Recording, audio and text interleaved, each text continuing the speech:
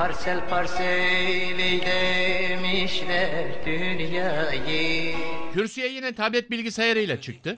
Cumhurbaşkanlığı sarayına türküyle gönderme yaptı. MHP Grup Başkan Vekili Oktay Vural basın toplantısında Aşık Mahsuni Şerif'ten Nem Kaldı türküsünü dinletti. Padişah deydem çekse otursam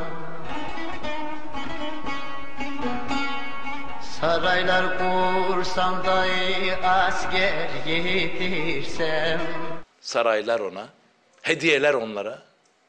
Vatandaşa iki damla gözyaşı kaldı. Oktay Vural'ın gündeminde Arınç Gökçek polemiği vardı. Öyle diyor Bülent Arınç, parsel parsel eylediler. Bir dokun bin ah işit. Ah bir konuşsa ya.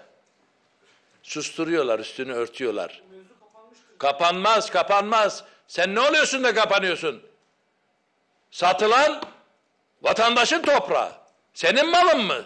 Başbakan bütün bunların üzerine çul mu serecek? Yok iyi bir de üzerine bir soğuk su içelim bari. CHP Mersin Milletvekili Ali Rıza Öztürk ise yaşanan kavganın üzerinin kapatılmak istenmesine tepki gösterdi. Bülent Arınç'a p- paralel yapının üyesi olmakla suçluyor. E bence Bülent Arınç'a karşı operasyon yapılmalıdır. O da gözaltına alınmalı. Doğrudan Melih Gökçek'in gözaltına alınması lazım. KPSS'de o 2010'da olan olayları bugün soruşturmak marifet değil. Şafak vakti alaca karanlıkta hem Bülent Arıncı hem de şeyi gözaltına almaları lazım Melih Gökçe. Böyle gündüz mündüz de değil. Diğer vatandaşlar nasıl yapıyorlarsa onları da öyle yapmaları lazım.